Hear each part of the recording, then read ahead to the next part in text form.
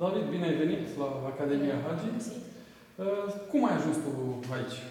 Păi am jucat la FC Lecția Timișoara și am avut un turneu Cupa Hagi Danone și m-a văzut un antrenor de la Academia Hagi și a sunat pe tata să, dacă pot să vin la niște probe. Și apoi în ce au constat probele și ce s-a întâmplat mai departe. La probe ne-a, uh, ne-a pus să facem mai multe exerciții, duble și mai multe și până la urmă am zis că pot să vin. Uh, Cum ai auzit tu? Cum aflasei tu de Academia Hagi? Știai despre existența Academiei Hagi?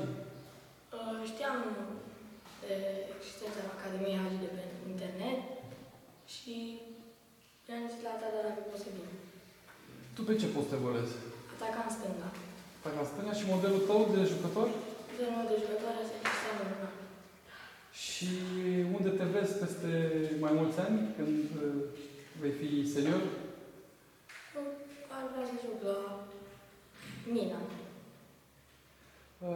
ai spus că vii de la Electrica Timișoara. Da. Când ți-ai început activitatea de jucător și Da. dacă ai mai evoluat și la alte cluburi din Timișoara? Nu am Înainte. lucrat la nici la niciuna din cluburi, dar m-a dorit foarte multe. M-a chemat Banatul, Poli, dar eram mai bun decât ei și nu m-am dus și am început vorba la șase ani.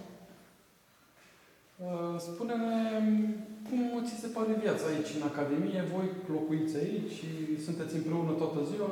E ceva diferit față de ce era până acum când erai acasă. Ți-a fost greu să te acomodezi aici? Nu, doar să până la facultate. Uh, Despre domnul antrenor, ce ne poți spune?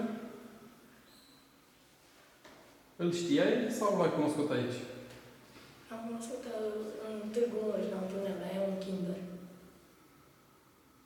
Bun. Hai oprim aici.